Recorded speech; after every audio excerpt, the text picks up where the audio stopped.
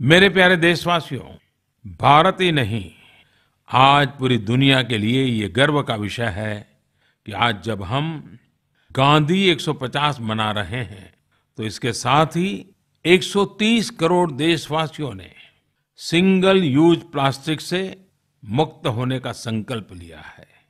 पर्यावरण संरक्षण की दिशा में भारत ने पूरे विश्व में जिस प्रकार की लीड ली है, उसे देखकर आज सभी देशों की नज़रें भारत की ओर टिकी हैं। मुझे पूरा विश्वास है, आप सब 2 अक्टूबर को सिंगल यूज़ प्लास्टिक से मुक्ति के लिए होने वाले अभियान का हिस्सा बनने वाले ही होंगे।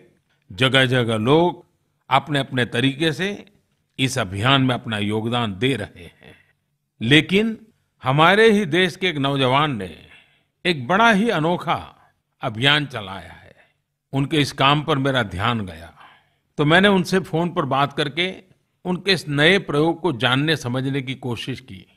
हो सकता है उनकी ये बातें देश के और लोगों को भी काम आए। श्रीमान रिपु दमन बेलवी जी एक अनोखा प्रयास कर रहे हैं। वे प्लॉगिंग करते हैं। जब पहली बार मैंने प्लॉगिंग शब्द सुना तो मेरे लिए भी नया था। विदेशों में तो शायद ये शब्द कुछ मात्रा में उपयोग हुआ है लेकिन भारत में रिपु दमन बेलवी जी ने इसको बहुत ही प्रचारित किया है। आइए उनसे कुछ बातें करते हैं। हेलो रिपु दमन जी नमस्कार। मैं नरेंद्र मोदी बोल रहा हूँ। जी सर बहुत बहुत थैंक यू सर रिपु दमन जी हाँ जी सर। आप जो ये प्लॉगिंग को लेकर के इतना बड़ा समर्पित भाव से काम कर रहे हैं जी सर। तो मेरे मन में जिज्ञासा थी तो मैंने सोचा मैं खुद ही फ़ोन करके आपसे पूछूँ। ये कल्पना कहाँ से आई? आपके मन में ये शब्द और हाँ ये त- तरीका कैसे मन में आया?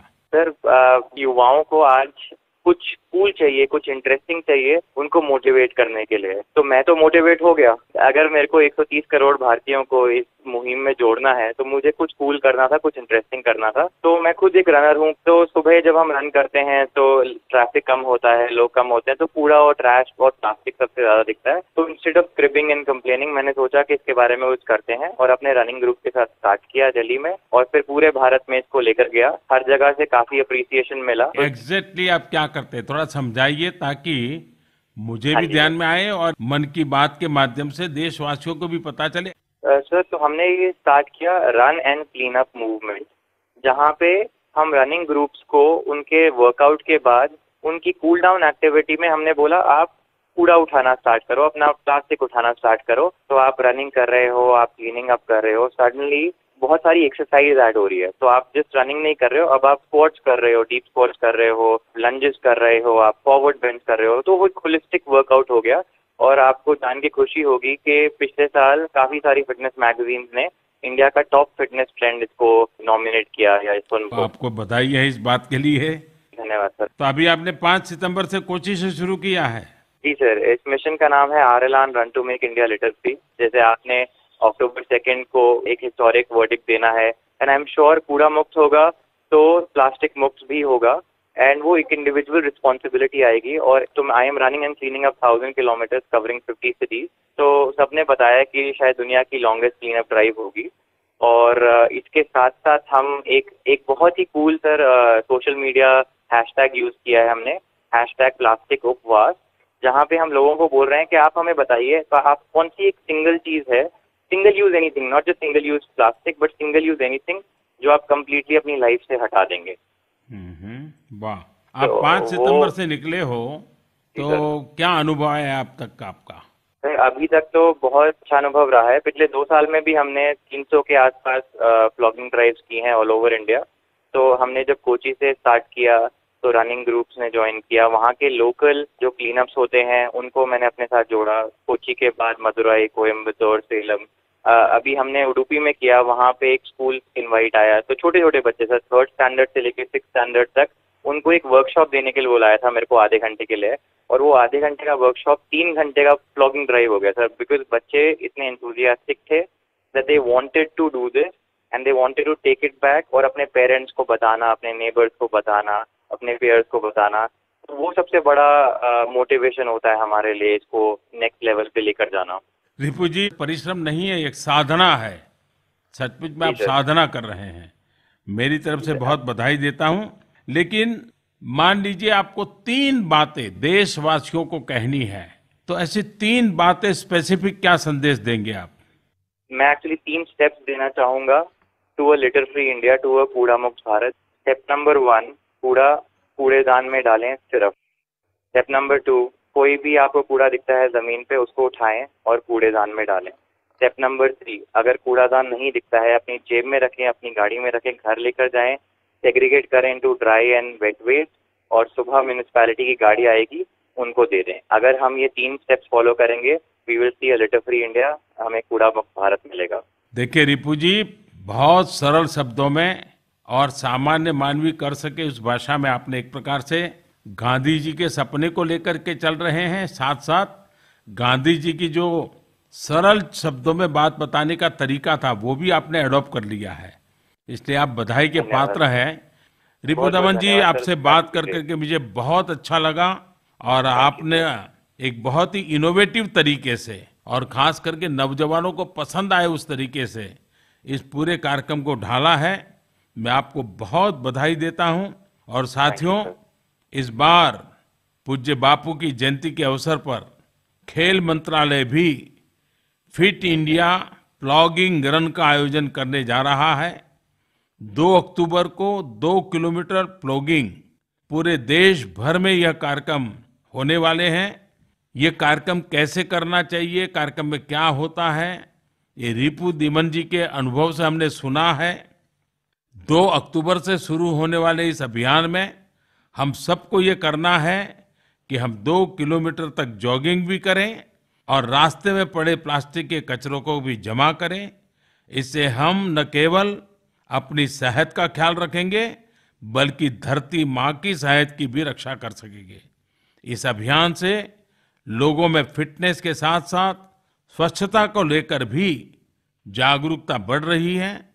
मुझे विश्वास है कि 130 करोड़ देशवासी इस दिशा में एक कदम उठाएँगे तो सिंगल यूज़ प्लास्टिक की मुक्त होने की दिशा में अपना भारत 130 करोड़ कदम आगे बढ़ जाएगा। रिपु दमन जी, फिर एक बार आपको बहुत बहुत धन्यवाद और आपको, आपकी टीम को और ये नई कल्पकता के लिए मेरी तरफ़ से बहुत बहुत बधाई। थैंक यू मेरे प्यारे देशवासियों, दो अक्टूबर की तैयारियाँ तो पूरे देश में और दुनिया में चल रही हैं, लेकिन हम गांधी 150 को कर्तव्य पथ पर ले जाना चाहते हैं। अपने जीवन को देश हित में बदलने के लिए आगे बढ़ना चाहते हैं। एक बात एडवांस में जरा याद कराने का मन करता है, वैसे मैं अगली मन की बात में उसको विस्तार से ज़रूर कहूँगा। लेकिन आज मैं जरा एडवांस में इसलिए कह रहा हूँ ताकि आपको तैयारी करने का अवसर मिले।